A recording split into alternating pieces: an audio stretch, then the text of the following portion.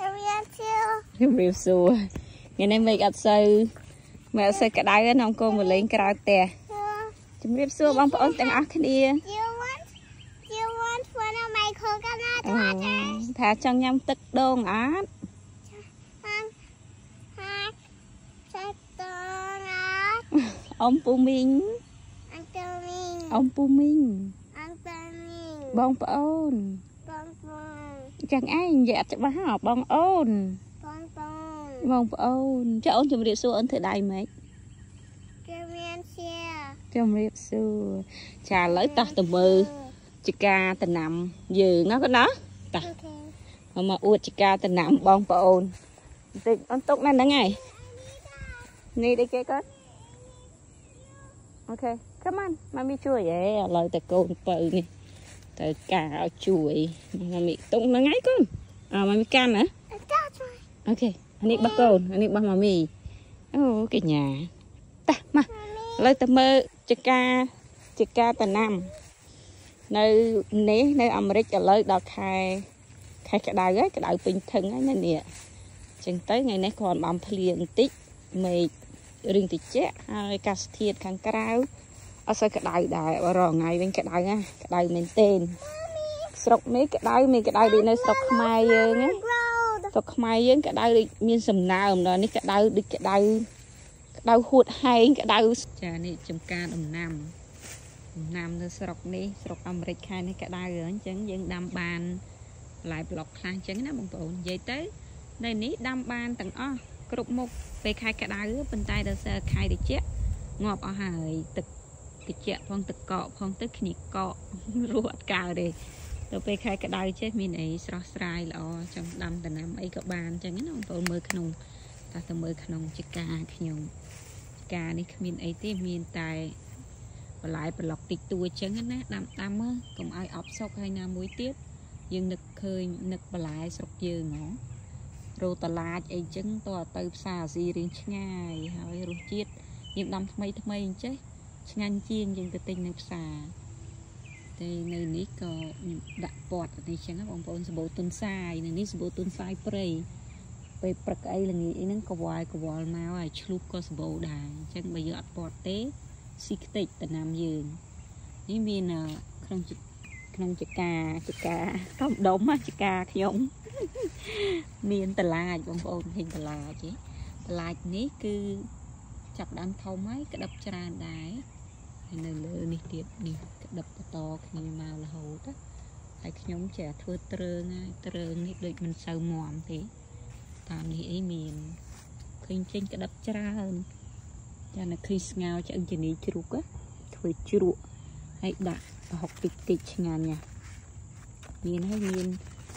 បានដៅនេះខ្ញុំដាក់លាយគ្នានេះជាមួយសក់ស្រូវទៅសក់ស្រូវក៏ចាប់ដើមក្តឹបដែរ ទុកទុំខ្លះទៅបានសក់ស្រូវការច្រើនដែរហ្នឹងនេះវាមកចាទៅសក់ស្រូវមានអាឡឹកអាឡឹកនេះកូនប្រុសខ្ញុំគេអ្នកដាំអាឡឹកអាឡឹកគេហ្នឹងដូចមានក្តឹបហើយបងប្អូនមានក្តឹបហ៎ឲ្យមើលអាឡឹកទៅជាមួយទៅបានផ្លែទុំញ៉ាំអត់មានក្តឹបអាឡឹក ចាមានពពាយដែរពពាយល្អដែរប៉ុន្តែដូចអត់ទាន់ឃើញមានផ្កាផ្លែអីទេអានេះក៏ទៅសក់ស្រូវដែរសក់ស្រូវច្រើនមានអាអានេះអីគេទេអូលពៅលពៅនេះបានមកគុំចាបានលពៅមកគុំដែរលពៅនេះមានសដៃគួរស្ដៃគួរនេះដាក់ត្រើងបានមកត្រើងដែរដាំ បដោះ2 3ដែរលើកចុះលើកឡើងបាក់កងាប់អស់នៅសល់តែមកមកដើមនេះឥឡូវចេញផ្កាចេញក្តឹបហើយសដៃគួរនេះពណ៌សដៃគួរពណ៌ស្វាយមិនមែនណាពណ៌បៃតងទេបងប្អូនអាពណ៌ស្វាយនេះវាមួយយ៉ាងដែរប៉ុន្តែសាច់វារឹងរឹងជាងអាពណ៌បៃតងយើងបន្តិចមានចាមាននឹងអញពពាយសក់ស្រូវអានេះក៏ពពាយ មានកញ្ចៀបកញ្ចៀបនេះបដោះពីរបីគ្រាប់ដែរឃើញដោះដាក់ដាំទៅបានឃើញមកដើមដោះមានជីជីក្រហមជីក្រហមឈ្ងុយយើងទុកញ័រធ្វើជ្រក់អីចឹងទៅចាហើយខាងនោះពេញពោះពេញពោះនេះក៏ចាប់ដើមមានកដិបមានផ្លែហើយពេញពោះនេះគឺខ្ញុំទិញផ្លែយកមកធ្វើម្ហូបអញ្ចឹងទៅសល់ក្របវាគឺជិះតែបដោះបដោះវា ញ៉ាំហើយអញ្ចឹងទៅយកផ្លែវាដាក់បដោះវាដោះឥឡូវបានផ្លែដែរចាម្រះព្រៅម្រះព្រៅដាំនៅដីខ្លះដាំនៅផើងខ្លះជីអីផ្សេងផ្សេងនោះក៏ម្រះព្រៅដែរហើយបានពោតប្រហែលដើមណែនពោតមើលបានសាច់ញ៉ាំអត់ដើមគេទូចឲ្យខ្លួនគេផ្លែពោតរៀងធំដែរនិយាយទៅនៅឡៃនេះអត់សូវ អត់សូវល្អដូចនៅផ្ទះចាស់ផ្ទះចាស់ដីល្អជាងដីរៀងផោដល់នេះមរះព្រៅដែរ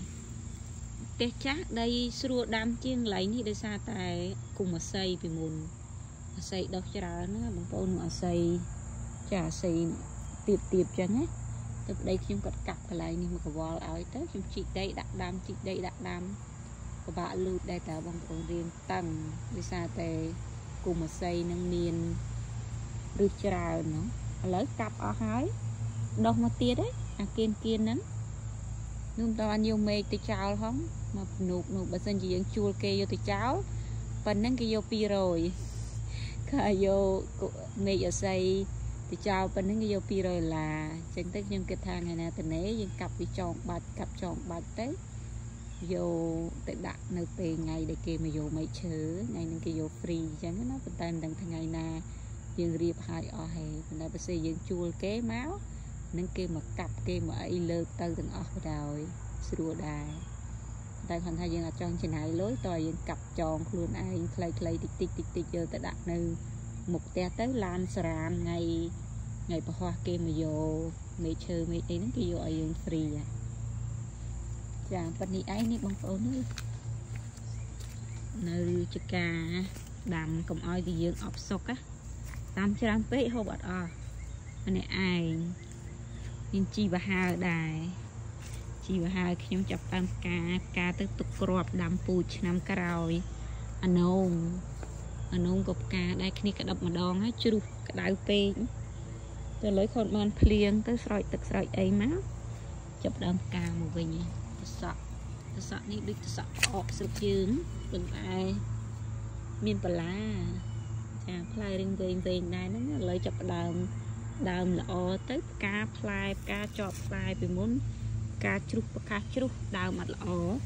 ពីក្រោយផ្ទះខ្ញុំមកបងប្អូនក្រោយផ្ទះដីរៀងធំដែរប៉ុន្តែយើងទុកឲ្យកូនរត់លេងខ្លះទៅវាទៅបានដាំអីហើយនៅស្រុកនេះចេះអីបងប្អូនផ្ទះចប់ចប់គ្នាចឹង តែដូចមានតែគេឆ្លោះគ្នារឿងព្រំរឿងអីទេព្រោះគេវាស់ត្រឹមត្រូវអស់ហើយក្រោយផ្ទះនេះក៏អ្នកភូមិដែរចប់ចប់លបងផ្ទះគេខាងក្រោយប៉ុន្តែផ្ទះអ្នកខាងក្រោយហ្នឹងឃើញតែព្រៃហ្នឹងប៉ុន្តែផ្ទះគេខាងនោះរៀងរៀងតម្លៃថ្លៃនៅស្រុកនេះវាយ៉ាងដែរផ្ទះគេ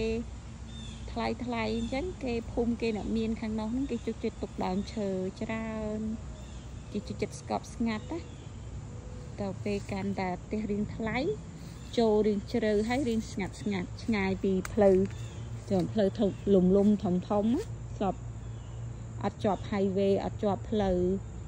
ចាផ្លូវធំធំអីទេជាប់ផ្លូវលំតូចធម្មតាយើងចូលជិះឡានជិះអីមកប៉ុន្តែស្រួលដែរនៅស្រុកគេនេះផ្ទះទៅដល់ណាគេមានភ្លើងគេមានផ្លូវស្អាតទុនសាយខ្ញុំ ជឿមិនចឹងគូអូទុនសាយអស់ទឹកអីបះដៃបះជើងកាយដីនោះមានពីរមួយឈ្មោះមួយមីញីអាញីនោះប្តីខ្ញុំធ្វើត្រង់ដាក់ឲ្យនេះដាក់ចូលគ្នាពីរអ្នកហ្នឹងនៅមួយគ្នាអត់បានណាដឹងមិនអានេះឈ្មោះវេមួយលោតមកហត់ឈ្មោះវេអស់ចំណៃតាំងអស់ទឹកនៅតែទឹក វេនេះឈ្មោះវជយវជយមិនក៏ទឹកបាសដៃបាសជើងចឹងវជយចាឥឡូវចាំតិចទៀតនាំទៅមើលបងប្អូនទៅមើលបន្លែខ្ញុំដាំនៅឯដាក់ផើងដាក់ផើងនៅក្រោយផ្ទះនោះសញ្ញាបក្រោយផ្ទះខ្ញុំខ្ញុំដាក់ដាំ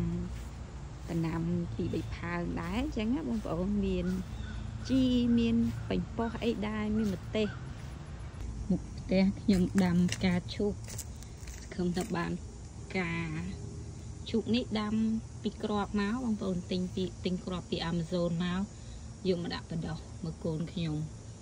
ចុចលេងដាច់ឆ្លាក់អស់ហើយខាងនេះដាំរំជាន់តែដឺអត់តន់រីក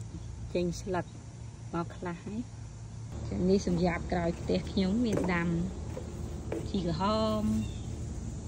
ជីក្រហមហ្នឹងបដោះពីក្របដែរទឹកស្ងោធ្វើជ្រក់ញោមអីមកបេះលោតជីថ្ពត្រីចាមកផើងតិចមកផើងតិចស្លឹកគ្រៃស្លឹកគ្រៃកាត់3 4ដងហ្នឹងមានម្ទេសចាម្ទេសនេះហឹលបងប្អូនភាគច្រើនម្ទេសនេះម្ទេសនេះខ្ញុំទិញនៅផ្សារគេលក់កន្លែងគេលក់តំណាំលក់អីហ្នឹងគឺនៅផ្សារ Home Depot យ៉ា Home Depot គេមានម្ទេសហ្នឹង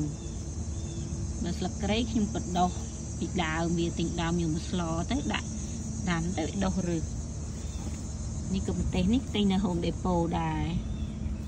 ហឹលម្ទេសនេះហឹលណាផ្លែច្រើនណាបេះបេះច្រើនដងហើយម្ទេសនេះអាម្ទេសចេកគេមិននោះមានអានេះមានចានេះសសក់ស្រូវដែរសក់ស្រូវចាប់ដងក្តឹបដែរ លពិលហើយជីជីប្រហើផ្កាទុកឲ្យបានពូជចានេះស្រួលយើងនៅចិត្តដៃយើងបាច់ចុះទៅក្រោមបេះស្លបេះធ្វើម្ហូបអីណាយើងត្រូវស្លមជូរស្លប្រហើអីទៅយើងស្រួលដែរពេញពោះនេះក៏ទិញផ្លែមកញ៉ាំដែរផ្លែមកញ៉ាំហើយខ្ញុំយកសល់ក្របពីផ្លែដែលញ៉ាំហ្នឹងយកមកបដោះដាក់ដាំក៏ដោះ ពេលទិញពីស្តគេមកផ្លែធំធំជាងនេះដល់ពេលយើងដាក់ដាំទៅដូចអត់សូវរីកធំយ៉ាងនេះស្លឹក7ហើយនេះបងប្អូនខ្ញុំពងថាបេះបេះទៅឲ្យវាបែកខ្ញែងខែតិចយកវាទៅដាក់ក្នុងនេះជីកាអឺជីណាបដោះឲ្យបានចេញខៀវខៀវមកខ្លះឃើញថាបានពូជាណាឆ្នាំនេះ ឆ្នាំមុនបដោះអត់ដោះសោះមកអងវិញដូចជាអត់ល្អទេមកអងនៅប៉ុណ្្នឹងឯងស្លឹកខ្ទឹមចាមកមុខបន្តិចមកមុខបន្តិចដាំកុំឲ្យតែនឹកផ្ទះនៅស្រុកខ្មែរណាបងប្អូនចា